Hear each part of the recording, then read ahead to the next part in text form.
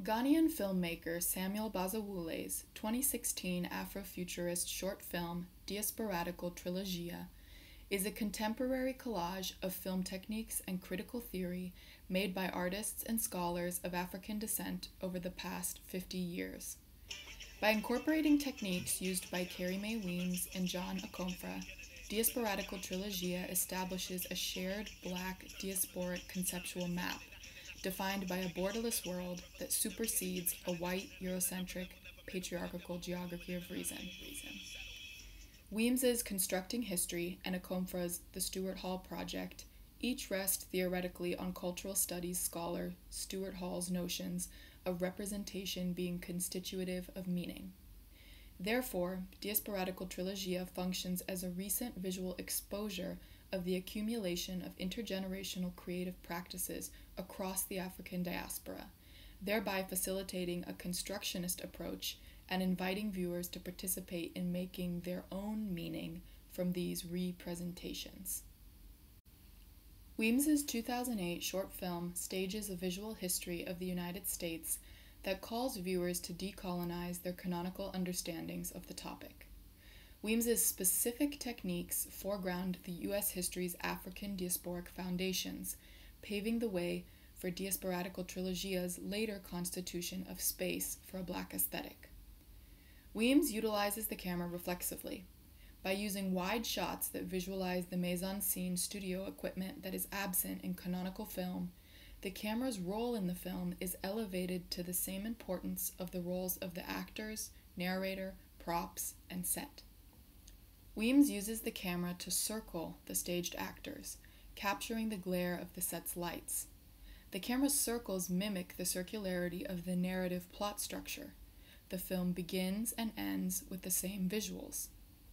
Bazawule utilizes the same circular techniques, both with the camera movement and with the plot. Weems's inclusion of a clock on the wall of the set, whose time varies through the film, visually represents time as constructed. Bazawule further forwards the notion of time as constructed by incorporating additional techniques such as slowed shots and reversal of frames, thereby establishing a flexible, fluid temporality. Weems's use of an unsteady camera, a technique Bazawule also uses, alerts viewers that the camera is present in capturing the visual. It is itself a frame, the means by which the filmmaker packages and delivers visuals to the viewer. Akomfrah's 2013 documentary film, comprised of original footage and borrowed BBC footage, introduces additional techniques used by Bazawule. Akomfrah constructs a visual biography of Hall's theory by merging the past with the present and visually juxtaposing archival footage of mid century England with footage of Hall on camera in Jamaica and the UK, showing that the political is always grounded in the personal. Likewise, Bazawule merges three temporalities in his biography of one woman's journey across time and diasporic space. Whereas Weems's soundtrack is omniscient in relationship to constructing history's material, Akomfrah uses a constant soundtrack of jazz music by Miles Davis to pull the film's narrative forward in an organized yet improvised fashion. Diasporadical Trilogia's music, like the music in the Stuart Hall Project, orients the viewers through the narrative, this time by providing a soundtrack of joy and celebration.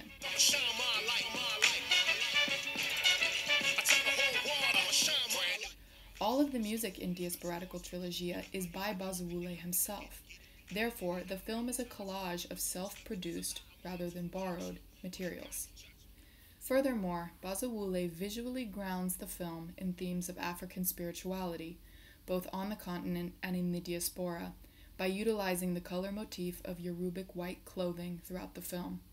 Bazawule's master collaging of Weems's and Akomfrah's techniques and Hall's theory with his own original material results in a visual exposure of a shared black diasporic conceptual map that constitutes the patterns of intergenerational creative practices across the diaspora.